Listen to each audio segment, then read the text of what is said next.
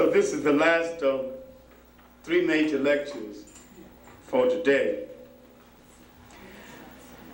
Because we have so much to do using this subject, we have little time for preliminaries.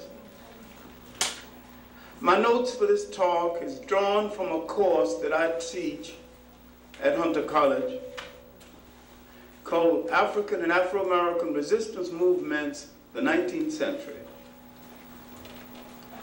I will begin by describing resistance movements in Africa, in the Caribbean, then in the United States, and what set these resistance movements in motion.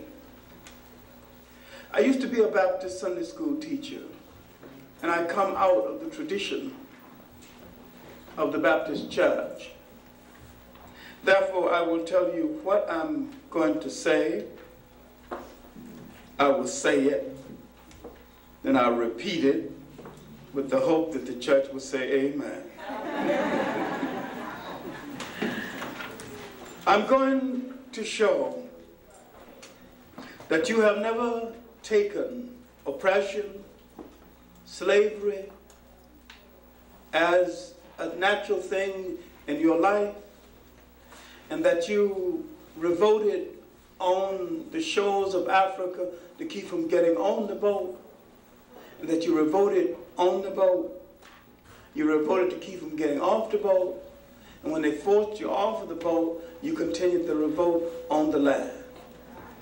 And that we are the most revolutionary of the ethnic groups that make up the United States, and that the revolts in the Caribbean islands and South America were more successful for a cultural reason that needs to be taken into consideration.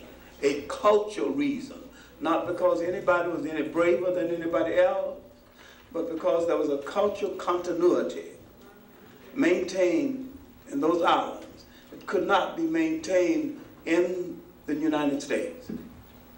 Now, this horrible trade in human flesh started in the 15th and in the 16th century. It took 100 years to get it underway. But after it gotten, it gotten underway,